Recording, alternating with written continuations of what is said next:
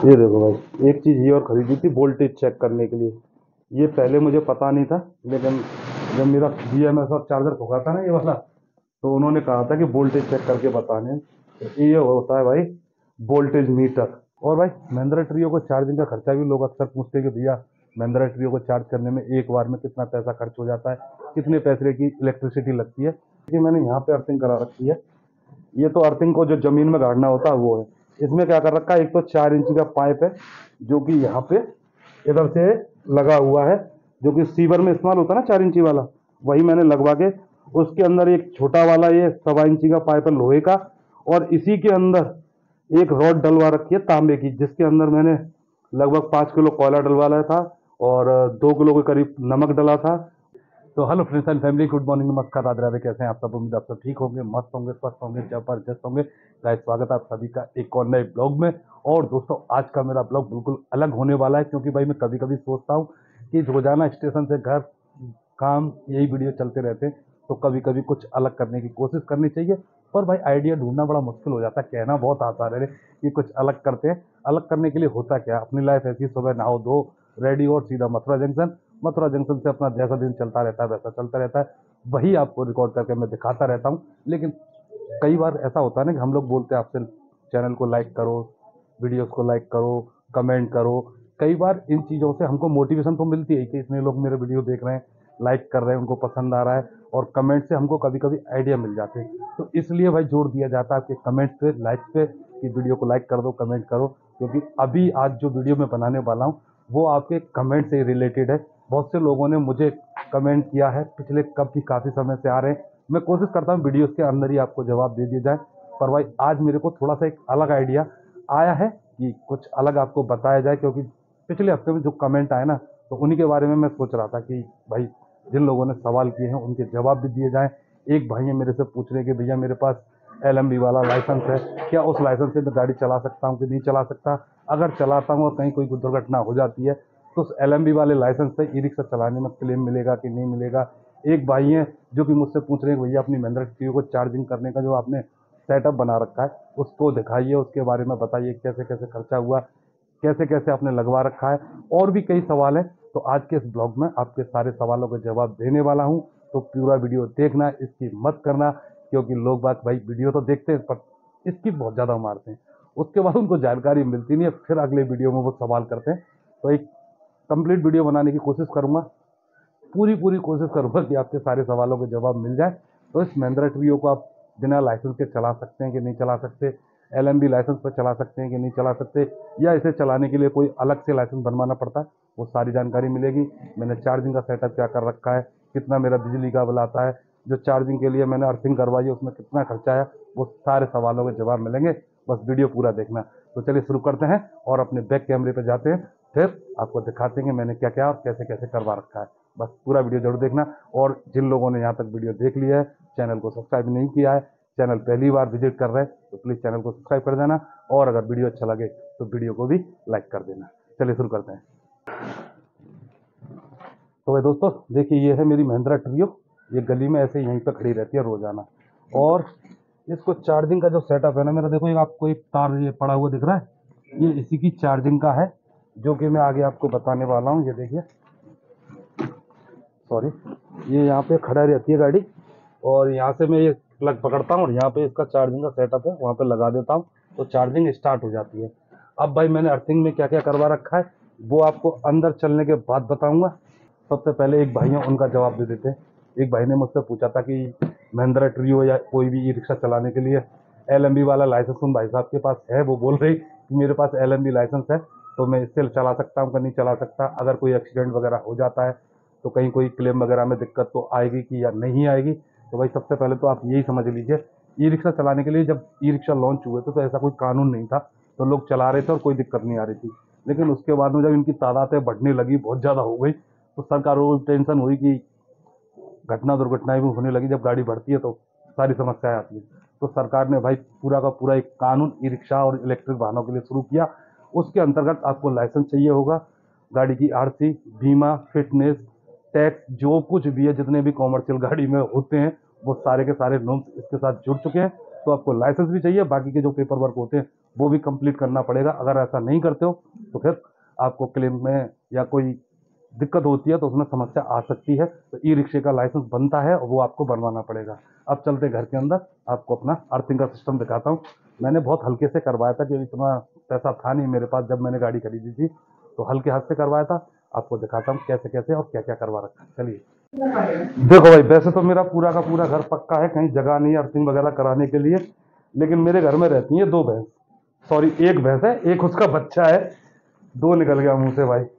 तो ये जगह थोड़ी सी कच्ची है हमारे घर में, इस तरफ़ को तो ये एक जगह मिली थी मुझे अर्थिंग कराने के लिए तो देखिए मैंने यहाँ पे अर्थिंग करा रखी है। ये तो अर्थिंग को जो ज़मीन में गाड़ना होता है, वो है।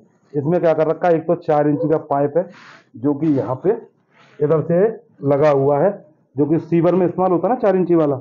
वही मैंने लगवा के उसके अंदर एक छोटा वाला ये सवा इंची का पाइप है लोहे का, और इसी के अंदर एक रॉड डलवा रखी है तांबे की, जिसके अंदर मैंने लगभग पाँच किलो कोयला डलवाया था और दो किलो के करीब नमक डला था और दो सौ रुपये का नीलत होता तो ऐसे करके ये अर्थिंग हुई थी। इलेक्ट्रिक वाला ही जो लाइट वाला होता है, वही आया था, वही करके दे गया था। तो यहाँ से ये कनेक्शन ये तार जाता है सीधा अंदर चार्जिंग बोर्ड तक के लिए। तो उधर चलते हैं, कमरे के अंदर जा रहा है, सीधा यहाँ से देख लीजिए। अंदर चल के दिखाता हूँ अब आपको। अगर आप आप ए सिटी वगैरह खरीदते हो तो उसमें अर्थिंग की ज़रूरत नहीं है, लेकिन महिंद्रा ट्रियो में बहुत ज़्यादा ज़रूरत है, क्योंकि मेरे सामने एक बार समस्या आ चुकी है। मेरी गाड़ी का चार्जर और बीएमएस दोनों फूक गए थे। और जब मैं वहाँ पहुँचा तो सबसे पहले उनका सवाल यही था कि घर में आपके में अर्थिंग है या नहीं है? तो मैंने कहा भाई मैंने तो अर्थिंग जब ही करवा ली थी गाड़ी खरीदते ही। तो उन्होंने कहा कि हमें फ़ोटो भेजो और कुछ और दिखाने के लिए बोला था। वो सारे के सारे मेरे कंप्लीट थे इसलिए मेरा फ्री में हो गया था। अगर मैंने अर्थिंग नहीं करवाई होती तो मेरी वाट लग जाती बहुत खर्चा आता है भाई। इसका जो चार्जर ही चार्जर है लगभग इक्कीस हज़ार रुपये का या बीस हज़ार रुपये का है। और बीएमएस वगैरह के खर्चे अलग से। ज़रूर करवा लेना, भूल मत जाना, वरना लटक जाओगे और फंस जाओगे। चलिए, आपको अंदर का सेटअप और दिखा देता हूँ, मैंने क्या क्या करवा रखा है। लेकिन उससे पहले एक चीज़ और देख लो भाई। ये देखिए, जो घर के लिए और अंदर के लिए लाइट आती है ना, मैंने दो एमसीबी करवा रखी हैं। एक तो घर की है इसमें, और एक है मेरी जो गाड़ी की ट्रियो के लिए जाती है, उसकी लाइट की अलग से। तो ये भी करवा रखी है मैंने, और यहीं से केवल जाती है सीधी इस बाहर वाले कमरे के लिए, जहाँ पे मैंने चार्जर लगा रखा है। तो अंदर चलते हैं। ये खुला हमारा दरवाज़ा। भाई, कमरे में अंधेरा होगा, पहले लाइट जलानी पड़ेगी। तब आपको दिखेगा कुछ। सॉरी दोस्तों, इस कमरे को हम ज़्यादा इस्तेमाल करते नहीं तो एक ही बल्ब वाला लगा रखा हमने। ये ट्यूबलाइट वगैरह चालू हुई नहीं है। तो वो मैंने अभी आपको तार दिखाया था ना बाहर से, जो आता है अर्थिंग का। वो आता है सीधा यहाँ पे। तो यहाँ पे भी मैंने एक एक्स्ट्रा एम ऑल लगवाई है, ताकि अगर कोई दिक्कत आती है तो यहाँ पे आ सके। और जो कनेक्शन है, एक जाता है मेरा, सीधा आता है बोर्ड के लिए।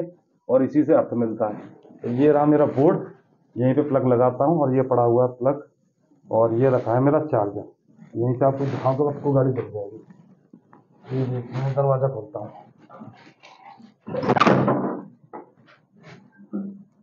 ये देखिए, ये मेरा सेटअप है, पूरा चार्जर ये रखा हुआ है और इधर खड़ी है हमारी महिंद्रा ट्रियो और यहाँ से सीधा का सीधा लाइट मुझे मिल जाती है। तो भाई कुछ ऐसा मैंने सेटअप बना रखा है।